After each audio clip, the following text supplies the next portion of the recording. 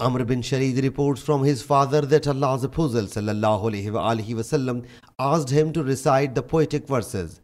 Ibrahim bin Maisara's narration says that he sallallahu said he, Umayyah bin Abi Salt, was about to embrace Islam. Ibn Mahdi's narration says he was close to Islam in his poetic verses. Sahih Muslim, Hadith number 5847.